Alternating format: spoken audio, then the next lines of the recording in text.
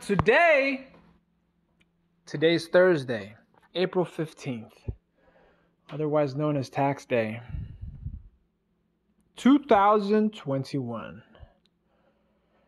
My name is Alex, yours truly, forever entry level, your intern at Incorporating Associates.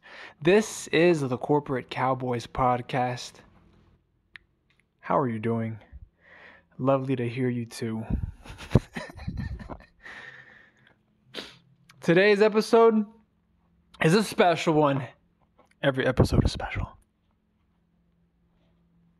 Today's episode is going to be about backdoor entry. Entering through the back door. No, I don't mean anal sex. I mean backdooring motherfuckers in corporate. In the context of corporate, in relation, if y'all want to get a little bit more intimate, in relation to corporate work. You see, on some corporate cowboy shit, backdooring motherfuckers is fun. It's fun. It's war and um, business is war. You gotta love. You gotta love business. You gotta love war. Love is an overused term, obviously. I think appreciation goes far enough. But if I'm speaking to the layperson, just your average Joe, it's difficult to conceptualize appreciation. That's why you hear a lot of folks saying, Oh, I love this and I hate that. A dollar says they don't. A dollar says they don't love Frappuccinos. A dollar says they don't hate uh, grilled cheeses. Fucking.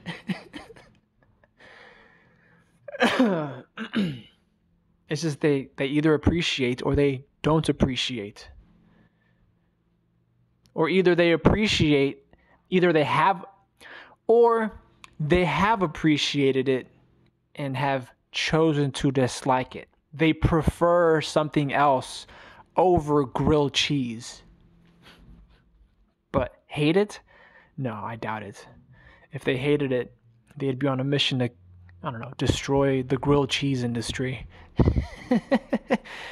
Consumers and and producers, fucking suppliers and and buyers. But backdooring motherfuckers?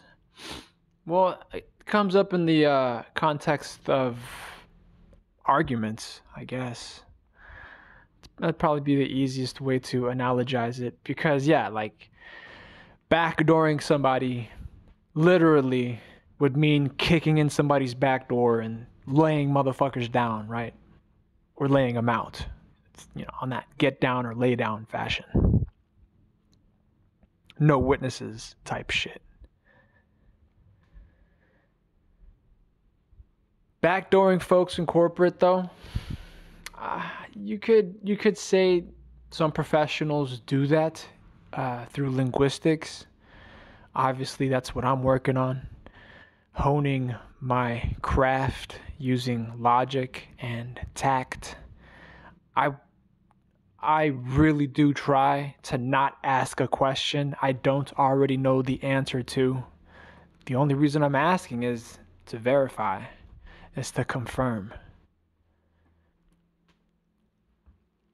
And that doesn't it doesn't conform with confirmation bias because me simply knowing the truth if if truth is relative, if truth is subjective, it's subjective only to context. And if in a context I should appear Mr. Alex, the dickhead, in a room full of pussies, everybody's fucked, right? That's how I don't ask questions I already know the answer to. What am I going to ask? Do y'all smell something off? Do y- y'all smell something around here? Fucking Alex the dickhead. Alex the dick.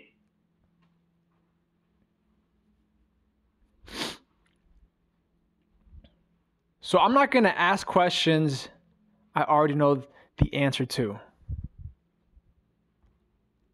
That's where you backdoor motherfuckers.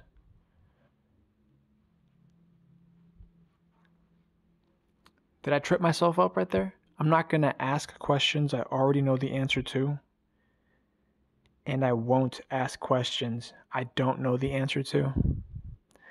No, I think the latter is uh, more in, more on the along the lines of be careful what you ask.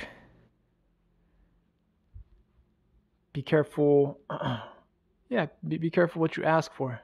Be careful what you go looking for. I suppose that's right.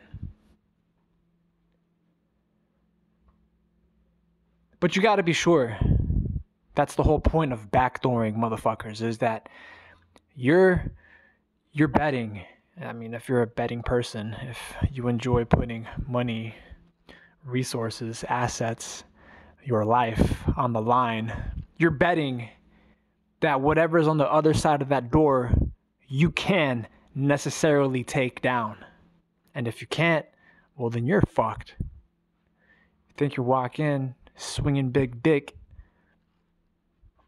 And uh, reminds me of that piece from the movie uh, Kill Bill. I don't know, one, two, or three, fucking, where they're in the desert and the the bride, the main character, uh, walks up onto the trailer and the dude is just waiting for her, right? And she doesn't know this. and sprays her ass with the 12 gauge. Maybe not sprays, but wets her ass up with the fucking 12 gauge. so you need to know. You need to know. And yeah, granted, it's not a a one to one comparison because she wasn't backdooring the trailer. But when you backdoor anybody, anything, any organization, and that's why it could be on the micro level it could be with an individual if you're just going back and forth talking to them and, and, some kind of conversation, discussion, some kind of discourse. You have to be sure about what you're getting into. You have to be sure that what you're getting into, you can either come out alive or you can take that licking. Because, I mean, thankfully, thankfully, in corporate, most often, it's not life or death. That's why you can continue playing. That's why you can continue. And if you're really professional, if you are really professional, if you really know how to employ diplomatic tact, it doesn't even look like you're backdooring somebody. It just looks like you're asking a simple question. It just looks like you're making a simple assertion. You don't appear infallible. You don't look like you're perfect. You just look like a corporate cowboy on a mission. Whether they choose to assist you or not, whether they choose to open up and reveal themselves onto you, it's entirely up to them. If not, you're laying motherfuckers out either way.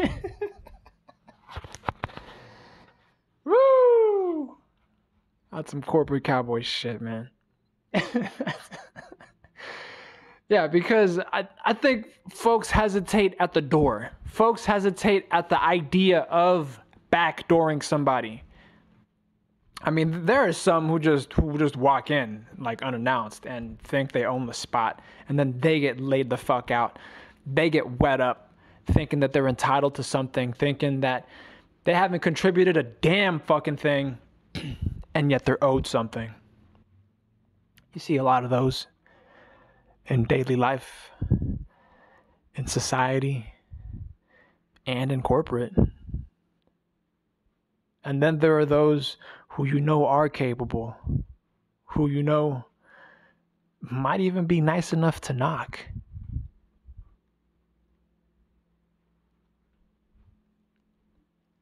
those are ones that uh, I think are mostly are mostly, if not always, good. The ones who knock. Why? Because they're announcing themselves. They're making themselves known. It's public. It's public affairs.